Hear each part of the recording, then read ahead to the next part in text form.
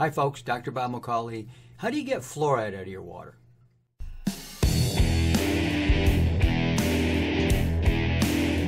As I've said before, the reason we have fluoride in our water is because of the American Dental Association. This is the group that wants fluoride in our water, and they go around to municipalities all over the country.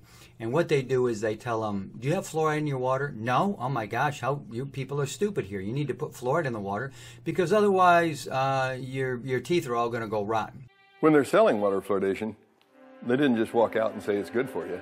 They actually hired Edward Bernays, Sigmund Freud's nephew, to sell Americans on how good it was to have silicon fluoride in the water. Edward Bernays, also known as the father of spin, pioneered the idea of crowd psychology.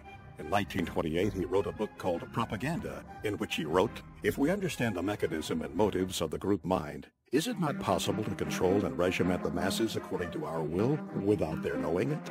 He called it the engineering of consent.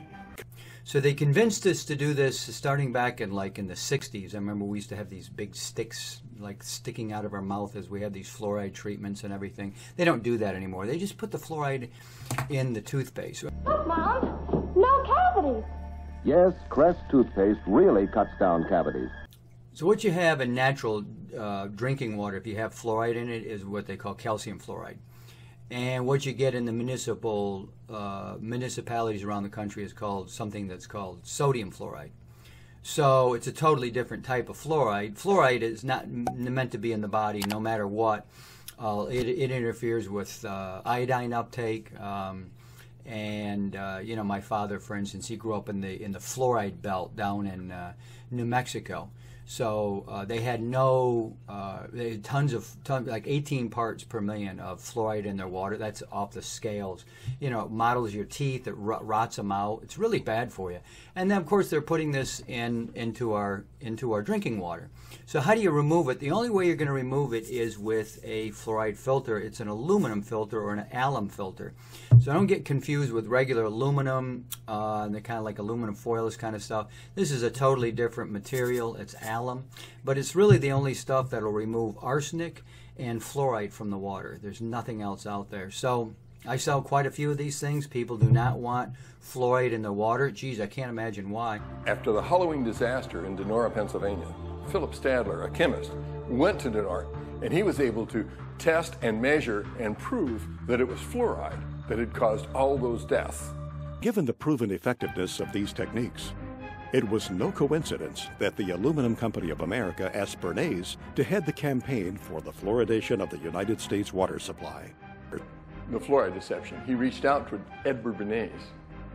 Bernays said it was child's play to convince the American public that fluoride was good for them. While the official narrative rang, the case for fluoride had been proven. Some people weren't so quick to jump on the fluoridation bandwagon.